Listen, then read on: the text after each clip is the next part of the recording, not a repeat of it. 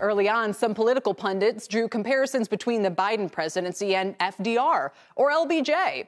Now, a year in, there have been more negative comparisons to the Gerald Ford and Jimmy Carter administrations. CNBC senior White House correspondent Kayla Tausche has a look at how the White House is trying to rehab the president's image as they head into year two.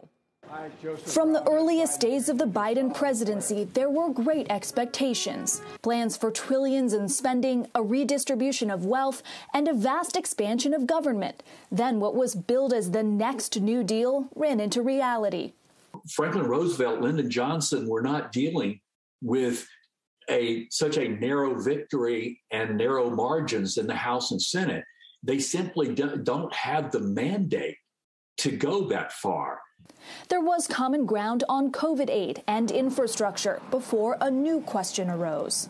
Conservative economists have drawn parallels to LBJ's Great Society and suggested that massive government spending paired with you know wartime programs would lead to out of control inflation. You're a student of history.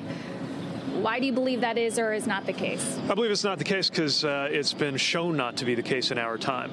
As inflation ticked up toward 40 year highs, GOP opponents drew a new comparison.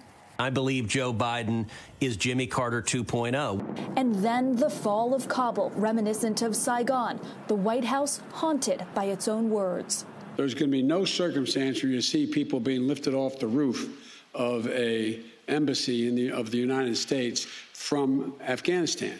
It is not at all comfortable. Now the White House wants a reset, some distance from the party's extremes. But I'm not Bernie Sanders. I'm not a socialist. I'm a mainstream Democrat. With grand ambitions shelved for smaller goals.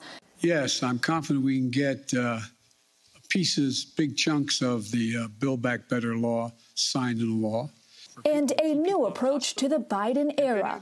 I'm also going to be out there seeking the more advice of experts outside, from academia to editorial writers to think tanks, bringing in uh, presidents and historians to get their perspective on what we should be doing.